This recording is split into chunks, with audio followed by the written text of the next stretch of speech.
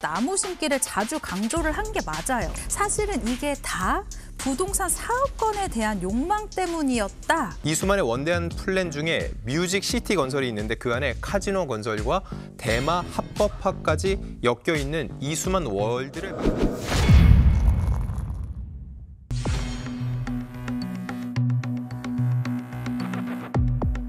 일단 이 모든 일은요 한 영상에서 시작이 됐습니다. 2월 3일로 거슬러 올라가는데 SM엔터의 현 공동 대표죠 이성수, 타경준 두 대표가 공식 너튜브 채널을 통해서 공개한 영상 일단 보고 설명드릴게요. 안녕하십니까 SM 엔터테인먼트 공동 대표이사 이성수입니다. 안녕하세요. 공동대표이사 타경준입니다. 올해부터 SM은 SM 3.0의 시대로 도약하고자 합니다. 현재 2023년에는 세계 신인그룹과 한 명의 솔로 데뷔를 계획 중입니다. 세계 신인그룹은 SM 엔터테인먼트의 두 공동대표가 직접 프로젝트를 리딩할 예정입니다.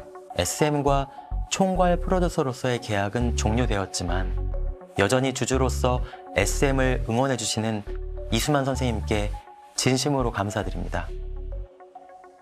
어, 일단 SM 3.0에 대해서 강조를 하고 있는 것 같은데 이게 정확히 뭘 의미하는 거예요?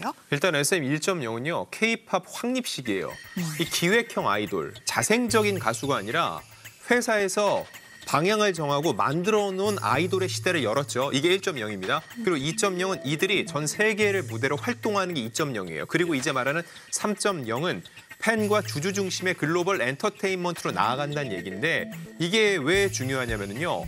그동안 SM의 주인이 누구이냐를 놓고 봤을 때 많은 사람들이 이수만, 이름 석자를 떠올렸다는 거죠. 그런데 아까 얘기했지만 마지막 멘트가 굉장히 중요합니다. 예. SM과 총괄 프로듀서, 즉 이수만과의 계약은 종료되었지만 이렇게 얘기를 합니다. 결국은 결별을 했다는 얘기인데 그래서 SM 3.0이란 건 결국 SM 1.0, 2.0이 이수만과 함께 with 이수만이라면 이제 post 이수만, 이수만이 없는 SM을 만들겠다는 선언이었기 때문에 굉장히 의미심장했던 겁니다. 사실 많은 분들께서 SM 엔터테인먼트 대표는 이수만 선생님이 아니었을까라고 생각했었던 분들이 꽤 있을 것 같거든요. 이게 왜냐하면 이름도 SM인데다가 이 가수들이 수상 소감에서 이수만 선생님 감사합니다라는 얘기 계속했기 때문에 당연히 대표가 아닐까라고 생각하셨을 거예요. 그런데 사실 이 이름이 스타 뮤지엄의 약자 SM으로 시작하기도 했습니다. 그리고 이 95년도에 설립한 이후로 재임 기간이요. 단 2년이었어요. 대표로 재임한 건 단 2년밖에 없었고요. 이후에는 이 대표직에서 물러나서 총괄 프로듀서라는 이름으로 활동을 했었거든요. 이 비전을 제시를 한다던가 아니면 음반 제작을 할때 어, 이런 컨셉을 해라. 아주 디테일한 부분까지 짚어내는 역할을 했었다라고 해요. 2020년도에는 이성수 타경준 씨를 공동 대표로 선임을 해서 엔터를 넘어서 이 글로벌 기업으로 도약하는 그런 시기를 맞이하고 있었습니다. 여기까지 들으면 뭐 SM 엔터테인먼트의 내부 싸움이 아닌가 싶은데 이 사이에 IT 기업 카카오가 등장했잖아요. 카카오는 갑자기 왜 끼게 된 거예요?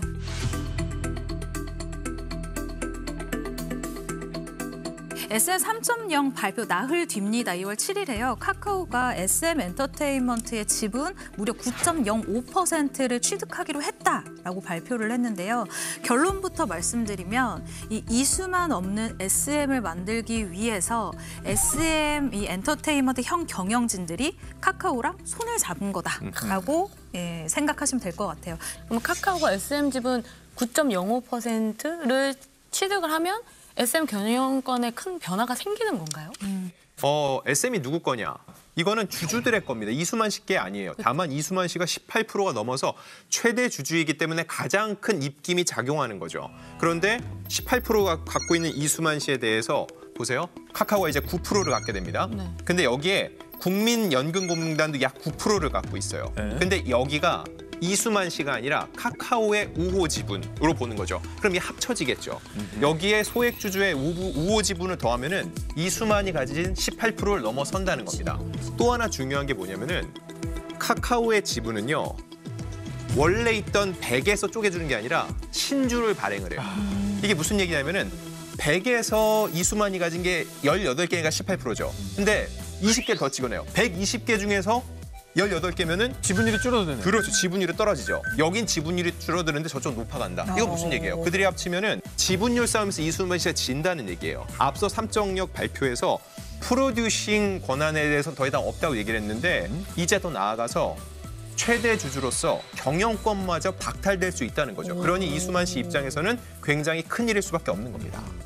뒤통수를 이제 딱 맞은 그 기분이 아마 이 순간이었을 것 같아요. 그래서인지 이수만 씨도 귀국 다음 날인 이 2월 8일에요. 법원의 SM 엔터테인먼트를 상대로 신주민 전환 사채 발행 금지 가처분 신청, 즉 주식을 이 새로 찍어내는 건 불법이다. 아예 취소를 해달라라는 법원에 소장을 제출을 하면서 법적 대응에 아주 적극적으로 나서는 모습을 보여줬습니다.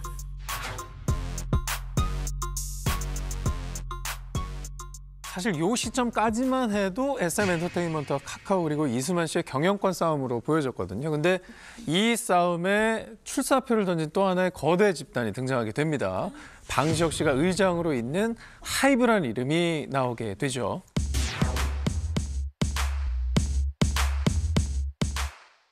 이 이수만 씨가 법원에 SM을 상대로 이 10이랑 신주 발행 금지 가처분 신청을 낸 다음 날이죠. 2월 9일에 이 하이브 방시혁 의장에게 지분을 팔겠다 발표를 하면서 당시 이수만 씨의 본인 지분이 18.45%였는데요. 이 중에 80%인 14.85%를 매각한다고 밝혔습니다. 이 매각 액수가요. 4,228억 원으로 추정이 되고 있는데요. 어, 그러면서 자연스럽게 지금 하이브가 SM의 최대 주주, 일대 주주가 된 상황인데 알 수가 없는 게 이 지금 카카 지금 SM이 적극적으로 자사주 매입을 하고 있고요.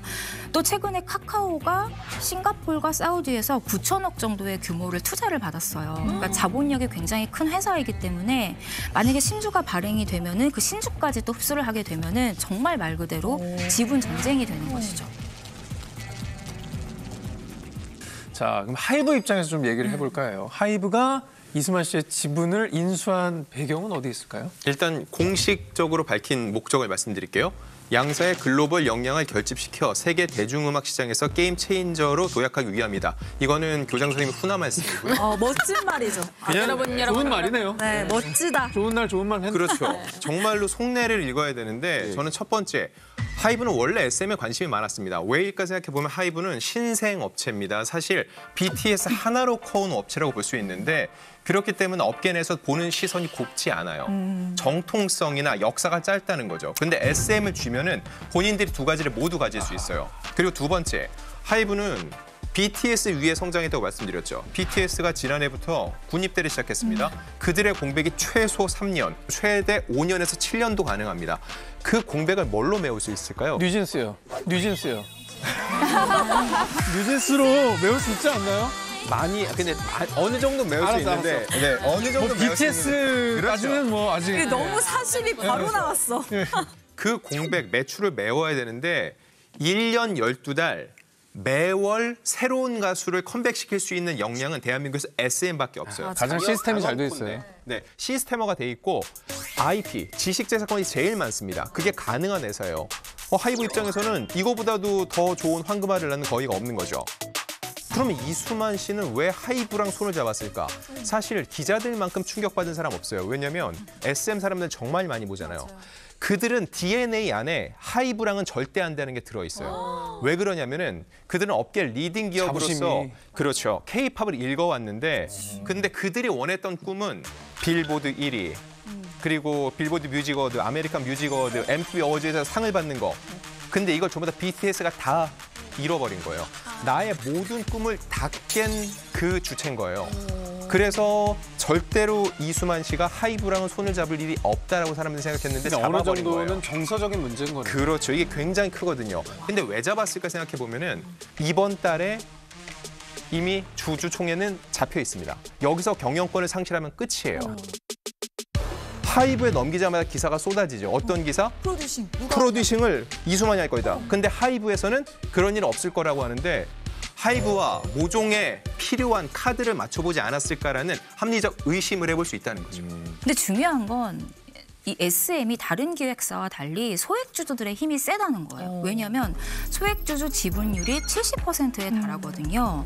그래서 이 방시혁 씨가 생각한 계획이 뭐냐면 공개 매수를 해서 소액주주들의 지분을 40% 가량 사서 총 54.6%의 지분을 확보하는 게 목표예요. 그래야 정말 안전하게 이 경영권을 확보할 수가 있거든요. 그러면서 주식 가격이 엄청나게 또 그쵸. 상승했지 않습니까? 네. 당시에 SM 주가가 주당 98,500원이었어요. 근데 이거를 주당 12만 원에 공개 매수를 하겠다라고 얘기를 했는데 네. 이게 반전을 맞이하게 되는 것이죠. 네. 네, 맞습니다. SM 입장에서는 상당히 다급해지는 이런 현장이 돼버렸는데요. 그래서 지난 2월 23일에 급하게 영상을 찍어서 올렸습니다. 그 영상 함께 보시죠. SM 3.0의 구현을 통해 2025년에는 매출액 1조 8천억 원에 영업이익 5천억 원 수준으로 확대될 것입니다. 2025년 SM의 주가는 주당 36만 원으로 계산됩니다. 소액주주들 입장에서는 어 지금 파는 것보다 36만 원 돼서 파는 게 훨씬 낫네라는 이 인식을 심어줘야 되는 거죠. 그래서 이런 이야기를 한 것으로 지금 해석이 되고요. 한마디로 이제 방 이장님께 12만 원에 팔지 마라. 네, 팔지 마라. 들고 있으면 36만 원 36만 갈수 원까지. 간다. 예, 예. 하셨죠? 사셨어요? 아니 저는 이, 이 뉴스를 보고 아 주식 오르겠네라고 생각만 했던 제 자신을 원망. 그러니까요. 아, 생각만 하셨구나. 왜 그때 또 그- 생각만 네.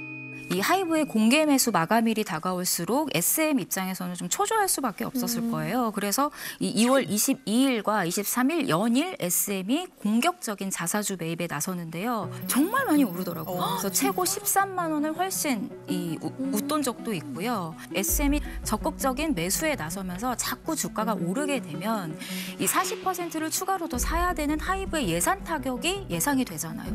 이 SM의 자사주 매입은 위법이다라면서 이 2월 28일 금감원에 이 조사 요청 진정서를 제출을 했고요. SM은 문제가 없다라는 입장입니다.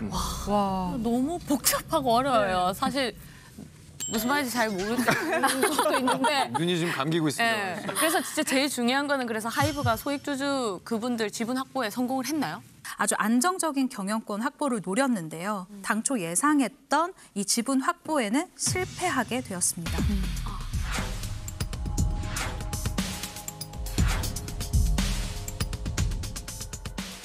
네, 2월 3일부터 시작된 이수만 씨와 SM 현 경영진과의 경영권 분쟁에 대해서 일목요연하게 한번 살펴봤습니다. 많은 분들이 가장 궁금해하시는 건 아무래도 이 대체 왜 이게 시작이 됐는지 왜? 원인이 뭐냐? 와이. 라는 겁니다.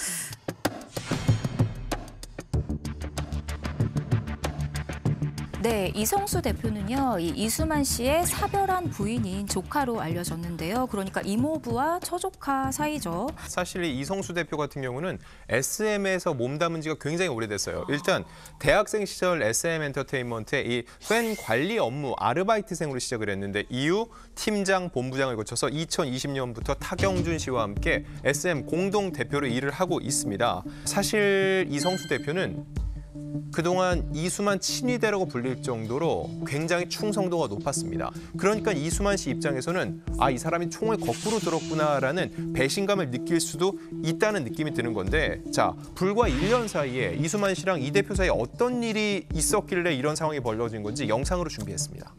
당신의 개인 회사가 아닙니다. 모두에게 무릎 꿇고 용서를 구하십시오.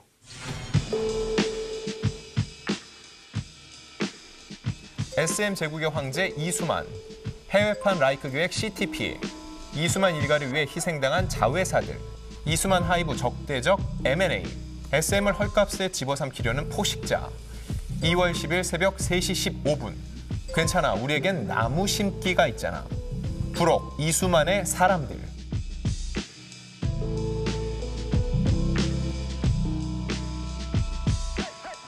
이 내용, 그 영상 안의 내용을 보면은요, 아 이것 때문에 결국 이성수 대표가 SM을 지키는 차원에서 더 이상은 이수만 프로듀서와 함께 갈 수 없다라고 생각한 게 아닌가라는 생각이 들거든요. 또 14가지 한꺼번에 폭로한 게 아니라 마치 기자들이 헤드라인을 뽑는 것처럼 하나하나 열거해가면서 굉장히 주목도를 높였거든요. 이번 발표와 가장 직결된 핵심 사안이자 이수만 씨와 이 결별을 선언한 이유 바로 라이크 기획입니다.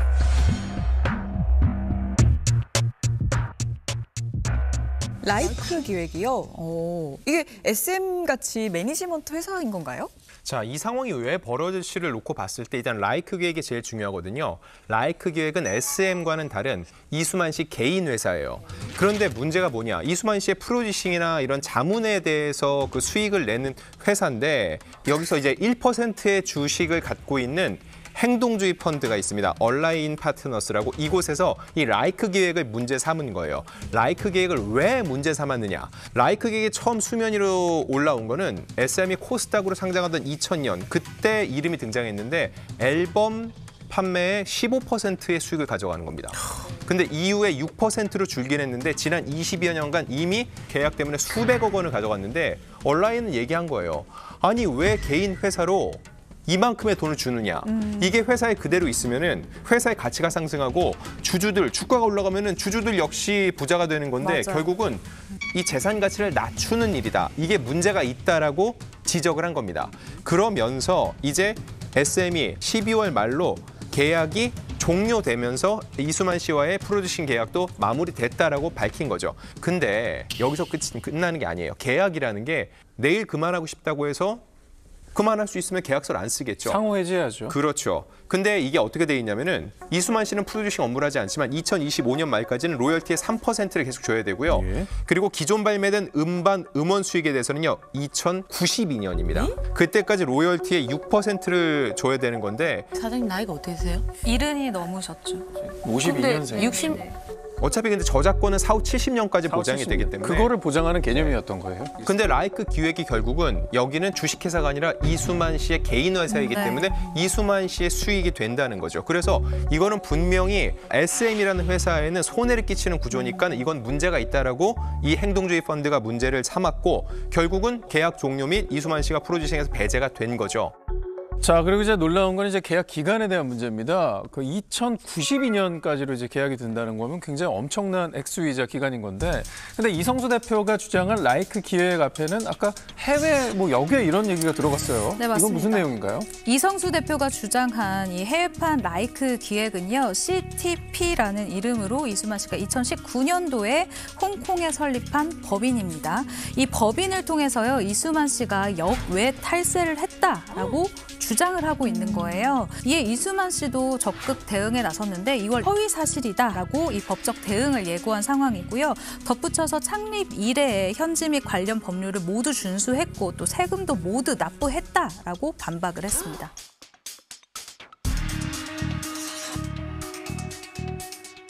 아니 이게 저는 뭐 수익이나 경영권과 직결되는 항목들이 방금 되게 많았는데 그 중에서 괜찮아 우리에겐 나무 심기가 있잖아 이게 눈에 띄더라고요. 근데 이게 무슨 얘기? 이게 사실? 교훈권 얘기하다가 갑자기 웬 나무냐 너무 갑자기. 뜬금없다라고 하시는 분들 많으실 것 같아요. 이성수 대표의 주장에 따르면요, 이 이수만 씨가 언젠가부터 SM 소속 아티스트들의 신곡에다가 가사 아니면 콘셉트를 정할 때 나무를 넣으라고 고집했다라는 내용입니다.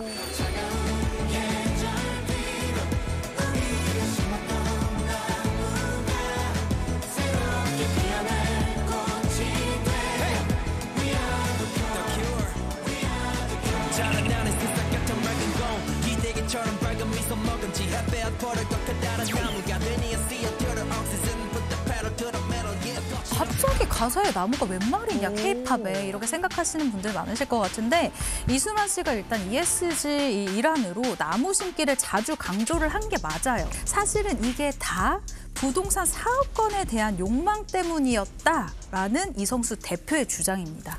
부동산 사업권하고 나무하고 무슨 상관이에요? 나무- 그러니까. 응. 이거를 이성수 대표가 구체적으로 영상에서 설명하고 있지는 않은데 그 이어지는 또 폭로를 보면은요 이수만의 원대한 플랜 중에 Music City 건설이 있는데 그 안에 카지노 건설과 대마 합법화까지 엮여 있는 이수만 World를 만드는 것이 그의 의도였다고 주장을 합니다. 네. 자, 그러면 이제 그렇게 됐다는 어떤 네. 증거들이 나온 게 있나요? 그러니까 이 기사가 있었는데 네. SM 소속 가수인 에스파가 원래 이제 2월 컴백 예정이었는데 이 미뤄진 이유가 나무 심기와 관련이 있다. 뭐 이런 기사를 제가 봤어요. 일단 이것도 이성수 대표의 주장이고요. 뭐 아직까지 이거에 대해서 누가 맞다 틀리다 얘기한 적은 없습니다. 다만 에스파의 신곡 노래 가사에 나무 심기와 지속 가능한 단어를 계속 넣으라고 고집했고 이것 때문에 에스파 멤버들이 속상해서 울컥했다는 얘기도 했거든요. 그리고 결국 음반 발매는 연기가 됐습니다. 제가 얼마 전에 있었던 에스파 첫 단독 콘서트에 갔다 왔어요. 원래 신곡이 발표되고 이 신곡을 콘서트에서 보여주는 거 이게 순서인데 앨범 발표가 안 된 거예요. 그리고서는 콘서트가 열린 거예요. 그러니까 발매도 안 된 앨범의 신곡 일곱 곡을 무대에서 보여줬습니다. 와. 그래서 제가 일곱 곡을 다 귀 기울여 들어봤어요. 네. 나무가 들어가는지 일단 들어가지는 않았습니다. 결과적으로 볼 때 이런 컨셉이라는 거는 그 그룹의 방향성을 결정하는 거기 때문에 그들의 기존 이미지와 반하는 걸 억지로 강요하는 거는 그룹 자체를 훼손시킬 수 있습니다.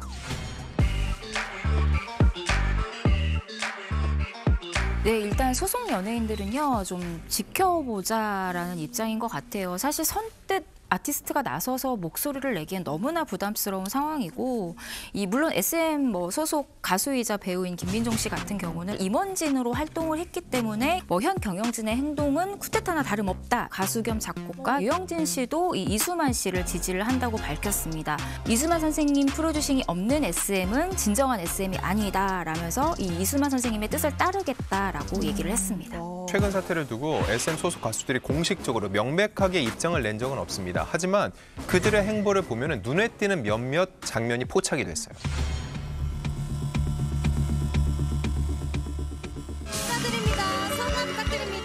이수만 선생님을 비롯한 정말 SM19에 있는 모든 형 누나들에게 너무 고맙다는 얘기를 드리고 싶고요. 저희 항상 사랑해주신 이수환 선생님, 회사, 회사 직원분들, 우리 가족들, 그리고 해외 스타일리스트 언니 오빠들 너무 감사드리고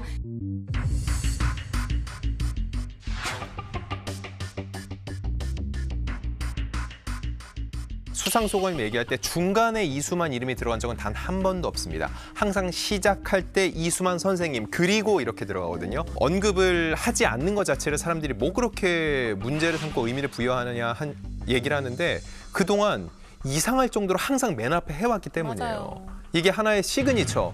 박진영 씨 노래 JYP 들어가는 것처럼 이수만 선생님 들어가는 게 하나의 공식이었는데 이 공식이 깨졌다는 거죠. 그러면 결과적으로 볼 때 이 소속 아티스트들이 직접적인 의사 표명은 못하지만 어느 정도 이번 상황에 대한 그들의 생각과 반감이 이 안에 들어가지 않을까 생각이 어허. 된다는 거죠. 또 그렇게 해석을 하시는군요. 팬들 입장에서는 회사의 세주인이 누가 되는지도 중요하지만 과정에서 우리 아티스트가 혹시나 상처받지는 너무 않을까? 중요하죠. 혹시나 뭐 활동에 차질이 생기지는 않을까? 그런 걱정이 엄청 될 것 같아요. 네, 물론 뭐 팬들 입장에서는 이해는 돼요. 최근에 그 하이브 사옥에 SM 팬들이 막 트럭을 가지고 가서 막 시위를 하고 그러거든요. 네네. 그런데 조금 아티스트에게 부담이 되지 않는 선에서 이 목소리를 내는 게 좋지 않을까 생각이 듭니다.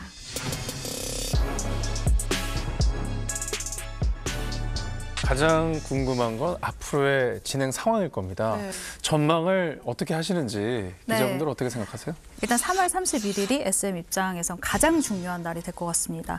이날 주주총회가 열릴 예정인데 이 저희가 봤을 땐 큰 결정은 다 이날 날 것이다 라는 생각이 들고요. 네네. 우선 법원의 이 가처분 인용 여부와 소액 주주의 이 추가 지분 확보에 따라서 경영권 분쟁의 이 향방이 좀 달라질 것 같다. 이 날을 좀 주목하시면 좋을 것 같다라고 네, 생각이 듭니다.